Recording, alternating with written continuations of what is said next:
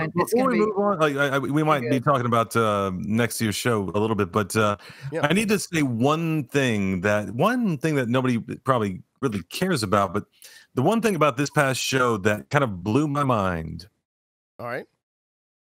two items were lost the entire time, and both were returned within moments.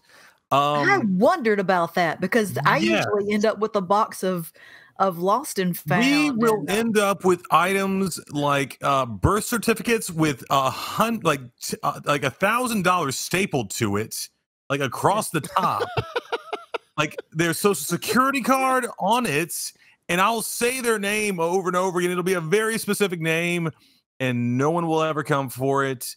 And I just have to turn this in. It'll be items with names on them, and and everybody just I guess hears the name over the intercom over the uh, overhead, and they're just like, "Well, I guess somebody else in this venue has that name because I'm not. I'm not. I don't Yeah. lose anything." And they just continue about their life. yeah, Yeah, there's always a That's so cell weird. phone or a set of keys or let Yeah. a wallet let, with money let me be sure to uh to to pronounce this correctly. Uh, congoers are the losingest people on earth. Not they are uh, they are not losers, but they are the losingest. Yeah, they're very loose with their possessions at the convention. One time, Brandon and I worked at an event. I don't know if we've told this story. You know where I'm going with this already, don't you, Brandon? No. I we still worked at an the event for some other company one time, and uh, someone lost their wallet. And you know what I'm talking about, Brandon? You, yes, I'm. I have the Yeah. picture Oh, here. he's got a picture Oh. of it. Okay, we can't show the picture because coming. Should I their ID, continue the story? but, but huh? Should I continue it because I have yeah, the yeah, name? no, no. You tell the story then. You you you go off. So one of the volunteers uh, pulls up to the merch table and says, "Hey," and he he, he gives me a uh, an ID and uh, and, and, a, and a credit card. He's like, "Hey, this was found out.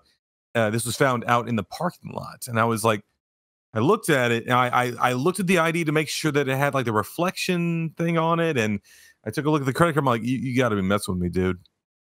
And and uh, he said, "No, no, this is absolutely real." And like he he's a guy who jokes around. He was very solemn because he saw the name. He saw how ridiculous it was. he knew what he was getting into.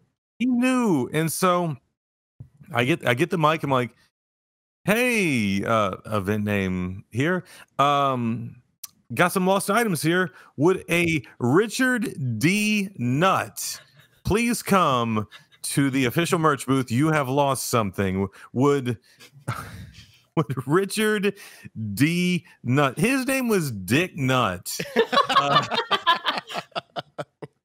and to this day, and I probably shouldn't. I actually do have like on his credit card. My thumb is over the over the pertinent information. But yeah, Richard D. Nutt, old double D Nut, um, is uh he's in my phone uh forever because I I will never forget that name. Someone Brandon did not even- do well in high school.